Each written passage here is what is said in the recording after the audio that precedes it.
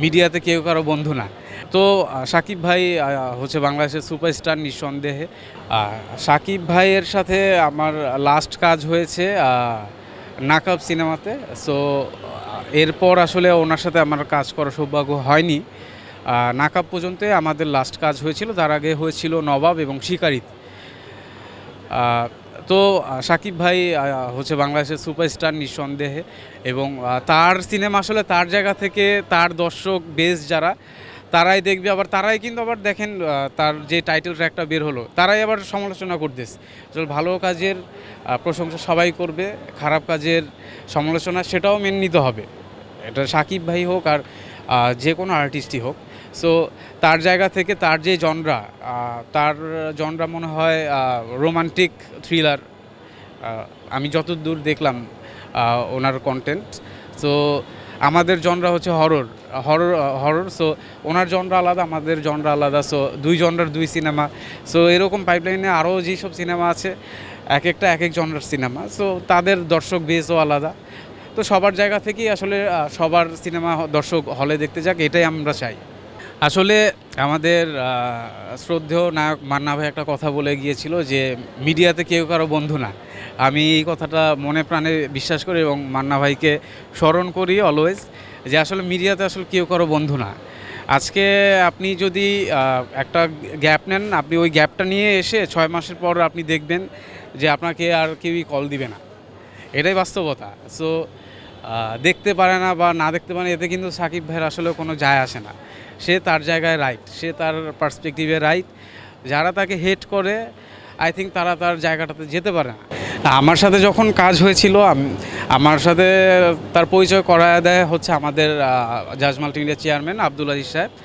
So আমার সাথে পরিচয় যখন হয়, সে খুবই ভালো ইন্টারাকশন করে এবং সে আমার কাজের খুবই প্রশংসা করে।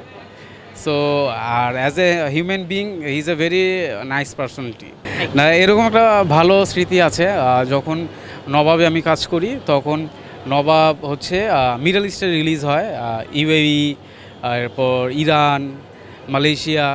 সো তখন আমি ইন্টারন্যাশনাল বাজারের জন্য একটা পোস্টার ডিজাইন করেছিলাম যেটা ইন্টারন্যাশনালি খুব আলোচিত হয়েছিল। তো সাকিব ভাই ওটার খুব প্রশংসা করেছিল এবং খুব বাবা দিয়েছিল আমাকে। ওইটা আমার লাইফের আসলে অনেক বড় একটা অ্যাচিভমেন্ট ছিল। সাকিব ভাইয়ের জন্য অবশ্যই শুভকামনা এবং always respect for him because he deserve it এখনও আসলে দেখেন বাংলাদেশের এই সিনেমা ইন্ডাস্ট্রিটাকে উনি টেন নিয়ে যাচ্ছে। যদিও এখন আমাদের আরও অনেক ভালো ভালো অ্যাক্টর অ্যাক্ট্রেসরা আছে বাট উনি ওনার জায়গায় ওনার বেস্টটা দিয়ে যাচ্ছে। তো ওনার জন্য সবসময় শুভকামনা এবং ভালোবাসা। মিডিয়ার সামনে আসি না বিষয়টা এরকম না, কারণ ব্যাক এন্ডে যেহেতু কাজ করতে হয়, যেহেতু আমি একটি বাংলাদেশের বড় প্রযোজনা প্রতিষ্ঠানে কাজ করি জাজ মাল্টিমিডিয়া সো আমি ওইখানের হেড অফ ডিজিটাল হিসেবে আছি এবং গ্রাফিক্স এবং পোস্টারটাও আমি দেখি সো ব্যাক এন্ডে আসলে এত বেশি কাজ করা হয় যে পাবলিক রিলেশন দেখতে হয় জার্নালিস্ট অ্যান্ড কমিউনিকেশন দেখতে হয়। সো এই জন্য হয়তো ক্যামেরার সামনে খুব একটা আসা হয় না বাট বেসিক্যালি আমার কাজটাই হচ্ছে ক্যামেরার পেছনে। দেখেন ভাইরাল তো আসলে এখন আমরা যদি উর্ফি জাবেদের কথা চিন্তা করি ইন্ডিয়াতে, আসলে ওই রকম ভাইরাল তো আসলে আমরা কেউ হতে চাই না। দিন শেষে আমরা একটা সমাজে বাস করি, আমরা পরিবারের সাথে বাস করি। আমরা ভালো কাজ দিয়ে আসলে আলোচনায় থাকতে চাই। সমালোচ, সমালোচনা তো আসলে এটা হিরো আলমও বা আমি কারও নাম মেনশন করতে চাই না। এইরকম যারা পার্সোনালিটি যারা, যাদের মেন ইন্টেনশনই হচ্ছে ভাইরাল হওয়া, তারা তো আসলে ভাইরাল হওয়ার জন্যই বিভিন্ন আলোচিত সমালোচিত কথাবার্তা বলবে ক্যামেরার সামনে। এটাই স্বাভাবিক।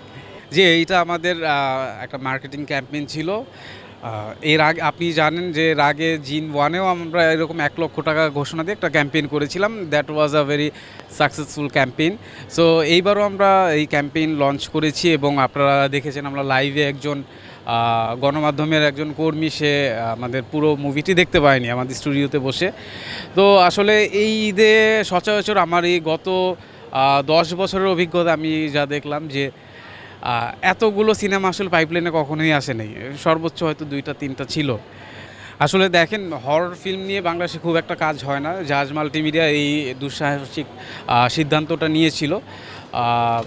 জিন ওয়ানের যেই অভিজ্ঞতা নিয়ে আমরা জিন টু বানিয়েছি যে জিন ওয়ানে আমাদের কিছু ল্যাকিংস ছিল গ্রাফিক্স নিয়ে ওইখানে কিছু কন্ট্রোভার্সিয়াল কিছু কথাবার্তা হয়েছিল। এই জন্য আমরা জিন টুয়ে কোনো ভিএফএক্স আসলে রাখিনি। আমরা যেটা রেখেছি যে রিয়েলিস্টিক একটা জিন মানুষের উপর ভর করলে সে কিন্তু আসলে ভূত প্রেত নিয়ে হয়ে যায় না। সে একটা মানুষই থাকে।